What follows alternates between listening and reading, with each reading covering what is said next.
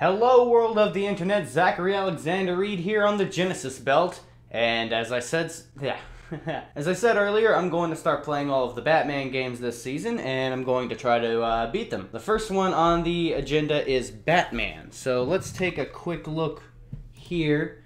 Let's see, this game was inspired by the Tim Burton film Batman from 1989. Alright, so this game came out in 1990. Uh, and that's pretty much all we need to know. So there you go. I never played the first Batman game for the Genesis, so let's go ahead and jump right on into it and play some Batman.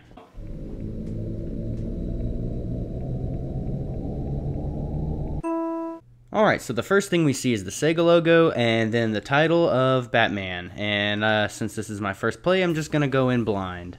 The first level is Gotham City Streets, and Wow, this actually looks pretty good. It's got a lot of uh, browns and grays, but the detail is uh, fairly decent for 1990, I guess. You immediately see that your score is at the bottom left of the screen, your health is at the bottom center of the screen, and your Batarang supply is in the bottom right corner, as well as your life counter. Later in the game, when you get to a boss, their health is shown right above Batman's. No confusion there, really. Look at Batman's walk cycle, it's great! He struts the entire time. He's just like, yeah, I'm I'm Batman. I'm just gonna I'm just gonna strut my way and and one punch you, just one punch you the whole way. All right, so the first level in this game is a, a pretty basic walk in the park, uh, and I think that's to allow you to you know fiddle with the controls. I mean, one of the buttons is just punch. And all of the enemies in this first level are one one punch, so the controls are pretty easy to figure out. C is jump, B is to punch, and A is to throw a batarang. Holding down and B allows you to duck and shin kick the enemy to death. If you hit C again while jumping, you can do a somersault jump. Also, if you hold up and C instead of just jumping, Batman fires a grappling hook into the air, which you find out later gets Batman to, you know, to higher platforms he couldn't jump to.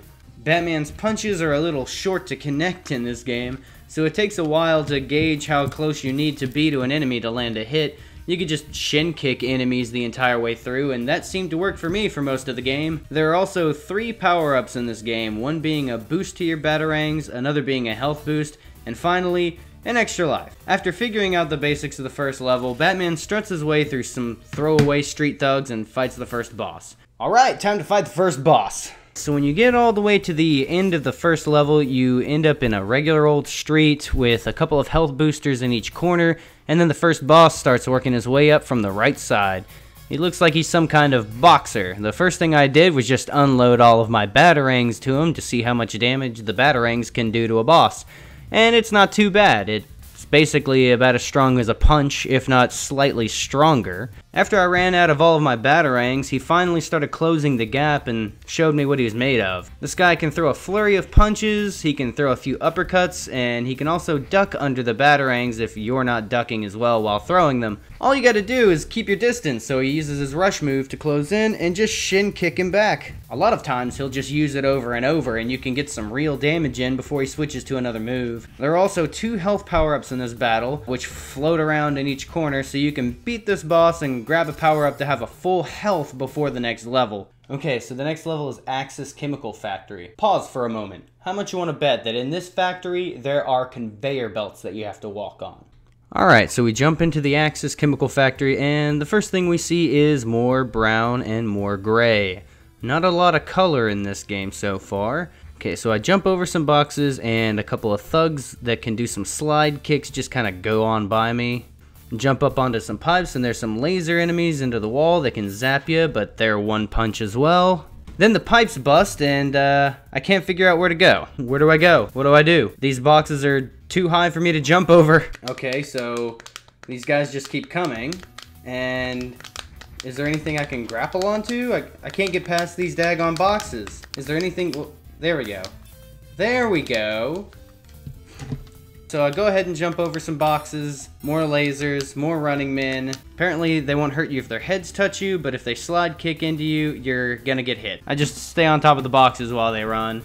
Then there's a short climbing segment where you gotta use the grappling hook to move back and forth through some platforms with lasers and bazookas. After that, there's a few conveyor belts. Oh, oh, and there it is. The conveyor belts called it. Give me a, give me a, give me a penny. Go all the way to the left at the top, and there's this guy who's got a full health bar above him. So that's nice. Past the conveyor belts, there's this pit that you drop into, another bazooka guy, and some batarangs jumping over the pipes, jumping over the pipes. More lasers, more bazooka guys. Alright, so once I got to the end of the lower level, you have to climb back up to the medium level? Mm-hmm. And then finally, some more conveyor belts. Then there's this last room that you have to get through, where there's more running men, another bazooka guy, and another laser. Because of this hallway at the end that's congested, it's kind of frustrating getting through it while trying to not get hit. At the end of the hallway, there's a, an, a room with gears, and it... Game over. I gotta start the game over again. Oh. No. It just starts me over at the beginning of the level. That's not so bad that it doesn't make me have to start the whole game over again. So fast forward through this level once again. I can't figure out how to get past this last room without getting hit. So there's this guy in the top right corner with a gun shooting at you. Just jump into him and... That was easy. This guy must be the guy from the movie who fell into the vat of acid and turns into the Joker. Alright, so that's level 2 done. Cool, level 2 was only 10 minutes.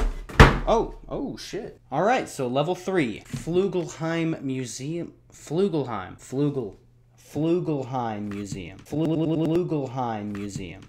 Okay, so we've upgraded from brown and gray to PP yellow and doo-doo brown. Cool. Your biggest obstacle here is going to be the chandeliers. And then these big old axe guys, which take eight kicks. You've got one-shot enemies and then like eight-shot enemies. And then moving platforms. I'm gonna probably fall a lot in this level.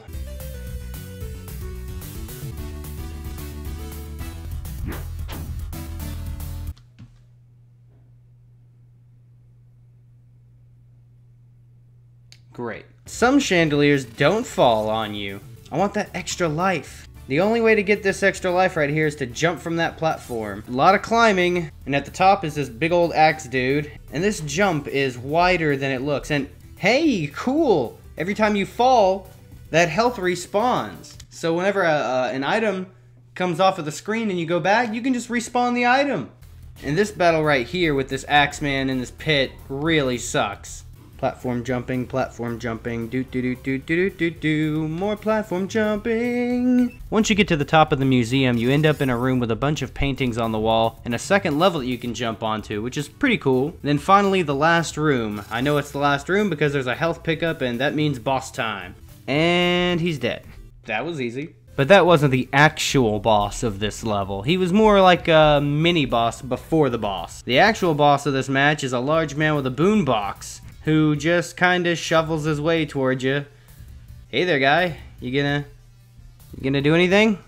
Then you got Joker up there on the on the balcony up there, just kind of uh, chilling, watching the whole match. Yeah, not a very smart recruitment plan he's got. After we beat the big old boombox boy, we're greeted to a little scene here where Batman uses his grappling hook and takes the blonde lady away from the Joker. All right, Flugelheim Museum is done. Next, uh, next level, please.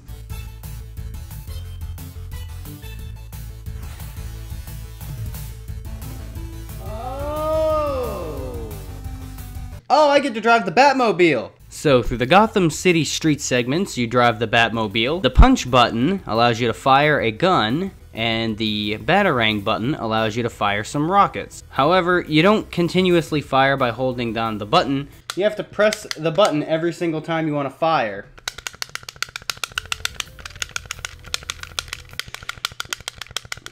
After a while, this can wear your thumb out. This level seems to be pretty easy at first, most of the cars only take a few hits to destroy, but the thing is, if you get hit once, it does a ridiculously huge amount of damage to your car.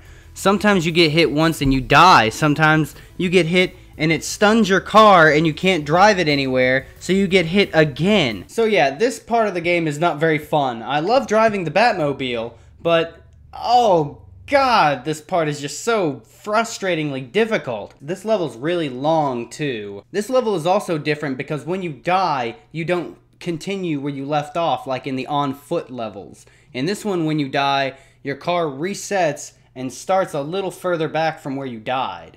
This is a little frustrating, but I mean, whatever, you know? Alright, so I get to the end of the level and get to the boss and instantly die. Thankfully, when I die, it takes me right back to the beginning of the boss battle. And then I die again. Well, that was a jump in difficulty. Seriously, I start the boss battle and he just annihilates me as soon as I start. So I'll have to be careful when I get to him again at the end of the level. Oh, but now I've got to start this shitty level all over again. Thankfully, this time it doesn't take me so long to get to the boss. This time I basically just kind of chill at the bottom of the screen and fire rockets at him until he dies. Alright, and then once I beat the boss, that's the end of the level, right? No. No, it's not. Once you defeat the boss on the Batmobile section, you then drop right back into the brown and gray streets of Gotham. Only instead of fighting generic thugs this time, you gotta fight flipping clowns. Alright, cool. Joker, clowns. Makes sense. This is a game about the Joker. And, uh, he's got his clowny goons. His clowny, clowny, clowny goons. His clowny, clowny goons. His clowny goons. These clowns can do backflips and jump kicks, but overall they're pretty easy to beat. But as soon as you get to the first pitfall in the first platforming section, you're greeted by these little fat clowns that spit fire. Because it was the 90s and fat bad guys have to always blow fire. Fuck, died again. Alright, so I died all my lives and it's time to continue and... Oh! Oh no! Oh no! I, I guess you've got limited continues in this game. So I get through level 1, no deaths, no problems. And then I get to the second level, and I die all but one of my lives. But back to the Flugelheim Museum. Alright, Flugelheim Museum. Hopefully I've learned enough to not die in this level so much.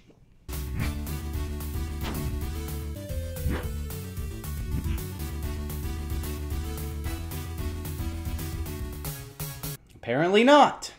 You know, I really wish that Batman could run instead of walk in this game. His jumping animation is faster than his walk cycle, and I really don't like this level at all. These fucking pitfalls. And the chandeliers in this level really kind of piss me off. They only hit Batman. If a chandelier falls on you, oh, it's okay. I'm just gonna go ahead and shoot Batman. Despite all of my frustration and difficult times with the Flugelheim Museum, I did manage to get to the first boss again and bataranged him to death again. Now I'm back to the boss at Flugelheim Museum, and I beat him with batarangs last time instead of letting him do any of his attack animations. So this time I figured, let's go ahead and see what this boss does. The first thing he does when I approach him is throw his boombox at me. Was this guy in the movie? This guy decides to just try to robo-tackle my ass into oblivion and constantly misses. His second attack is a diving body slam, which also is pretty ineffective. You can basically just dodge the attack and punch him after he lands, or kick him. After beating him, we're treated to the cutscene again, and we're back into the Gotham City streets. This is my favorite part of the game. Despite how much this level sucks, it does have some pretty catchy music.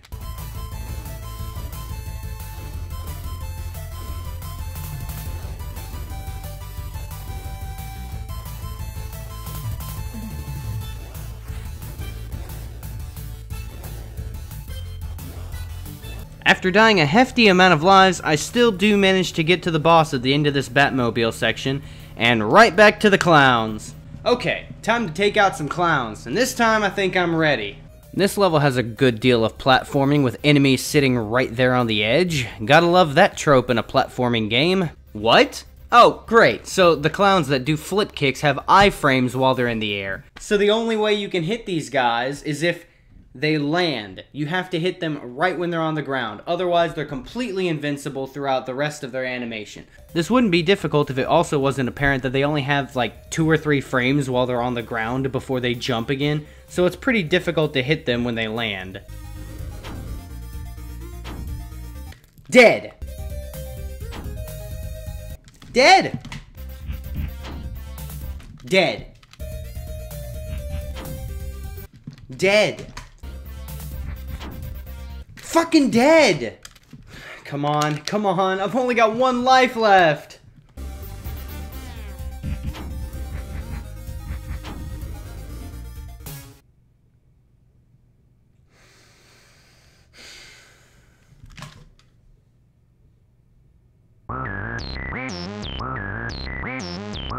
Eventually, I do figure out the timing and kill all of the clowns in this level this time. Alright, I finally got to the end of the level. Now it's time to fight the boss. This boss basically just jumps around and bum rush you with some scimitars. He's dual wielding instead of single wielding like the last guy in the Flugelheim Museum. He can do a little jump attack and then he can also bum rush you with the scimitars. So the only way I've figured out to hit him is at the end of his jump, as soon as he lands, try to get right next to him and then kick him.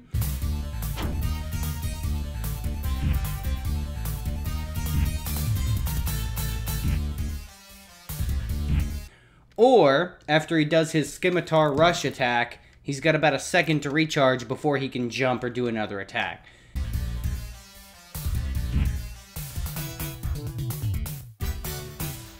Alright, finally, new level. Let's see what's next. In the sky over Gotham. Oh god. Is this a flying segment? Sure enough, the next segment is a flying segment. You fly the Batwing in a rail shooter style level where you have to defend yourself against a bunch of helicopters. Dude, I love rail shooters. Rail shooting is one of my favorite genres of gaming from like the 90s.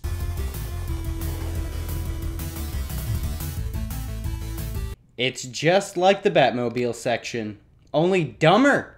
Believe it or not, this level is a lot harder than the Batmobile level. The Batwing is very slow to move vertically, and once again you have to hit the button every single time you want to fire a shot. On top of things, your enemies are helicopters that fire homing rockets and it's really, really hard to dodge because your Batwing is so big.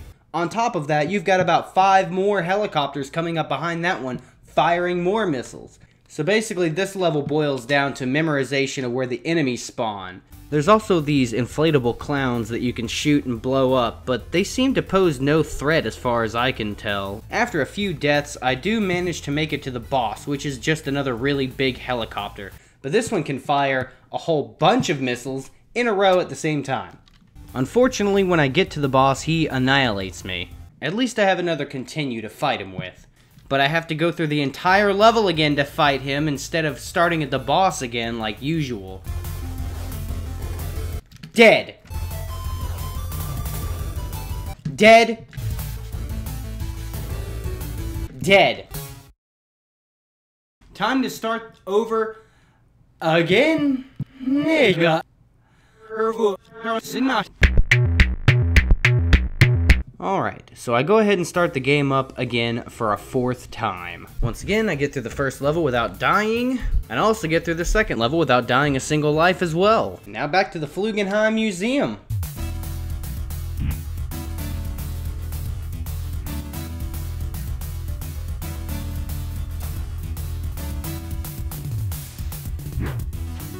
I beat Flugelheim Museum with the only dying one time. Time for the Batmobile part. This time I decided to stick to the top half of the road, and it carried me throughout the entire level. I managed to beat the boss, and on to the clowns.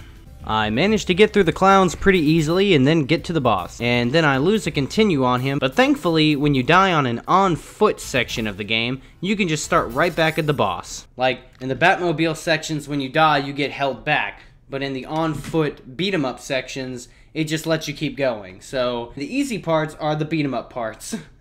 the hard parts are the other parts that are not the beat 'em up parts. Why even put that in there? Why put flying segments and driving segments in a beat 'em up game?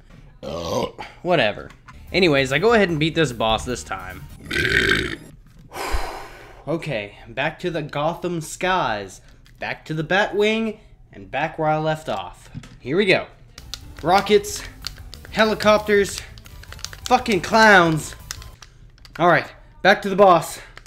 Honestly, this boss doesn't seem too hard. All you've got to do is just stay out of his firing range or the trajectory path of his rockets and, you know, you're pretty much fine. I didn't even die on him this time. Finally beat this one.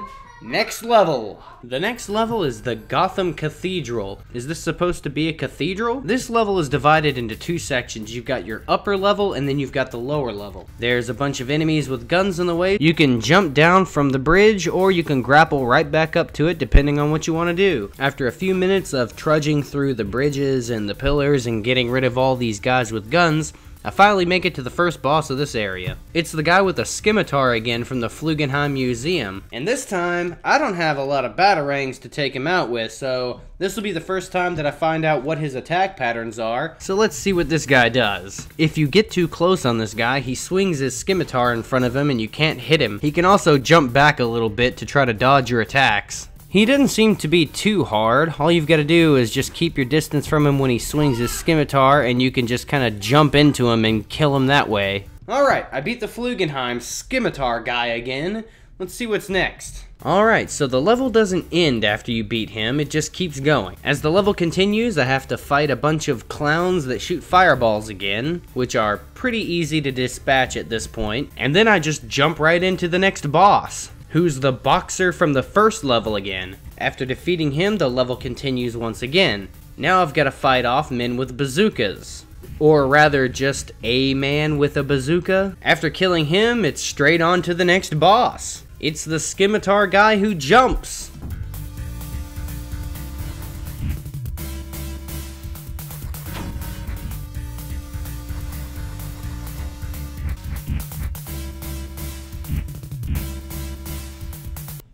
Alright, finally killed that guy. Now it's time to move on. The very next section is just a bunch of dudes on more pillars with guns. After those guys, I've got to fight the wife beater with the boombox again. After beating him, I'm finally done. Or am I? Because the level continues. Now it's a climb up the cathedral tower to get to the Joker. The enemies in this level are a bunch of red-coated dudes with TNT. They throw sticks of dynamite at you in order to try to damage you. It's pretty avoidable until they're on a platform above you that you have to get up on.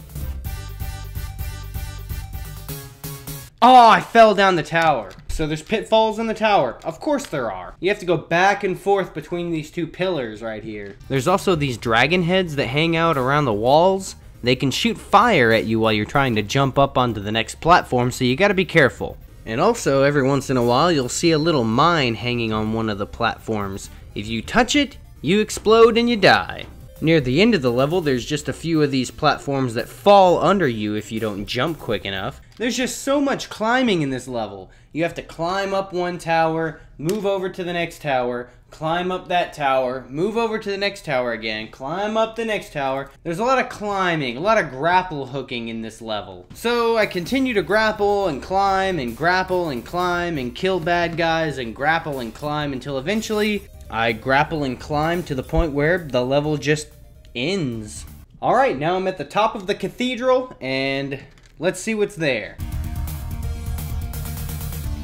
It's the Joker! So the Joker has a long-ass pistol that he can fire a blast of, well, energy or a big fiery bullet, depending on what you want to call it, just like in the movie. He can also grab a ball of energy and slam it into the ground so it comes into you. What? What is this? What? That doesn't happen in the movie! Fuck. Alright, so I made it to the Joker last time. This time, I think I can go ahead and beat the game. Here we go.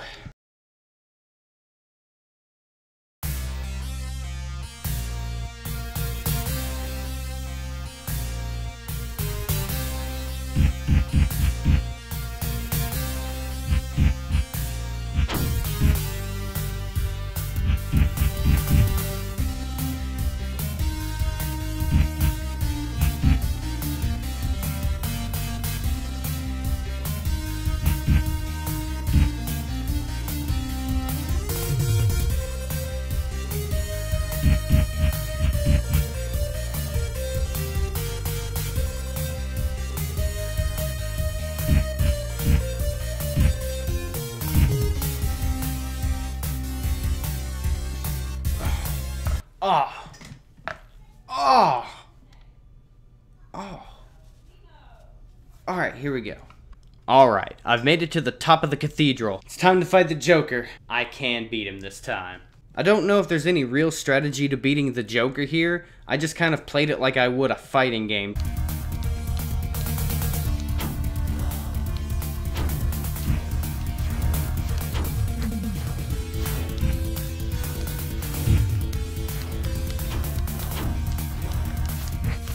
Yeah! That's how it's done. So the Joker is beaten. Bye! Joker. I love how it describes the Joker's body right here. It says, Joker is slammed down to the ground from the top stair of the cathedral. Now, Joker looks dizzy with his face ice cold, yet his teeth stuck out and his eyes directed aimlessly toward the star sparkling night sky. He's dead. Make no mistake, he's dead. And that's Batman for the Sega Genesis. What do I think about it? Um, it's pretty good, actually. Uh, I liked Batman's animation. I liked the attacks that he could do. They were simple, uh, but versatile. The enemies were uh, pretty simple so they put them in spots on the platforming segments that made them a little more difficult. The graphics were pretty good. They weren't spectacular. Uh, it didn't have the uh, a bright color palette. This is a very dark looking game. I think it was supposed to be that way. The tunes are fine. The music is fine. It's not bad. It's not ear rape, but it's not particularly memorable. Um, pretty good, just not great. Uh, the things that I didn't like about this game, uh, I didn't like the Batmobile segment, and I definitely didn't like the uh, Batwing segment. And the Batmobile segment is way too long. The fact that you have to continuously hit the button for every individual shot for your gun can really tire out your thumb after a while. But overall, the game is not really that hard. I beat the game in like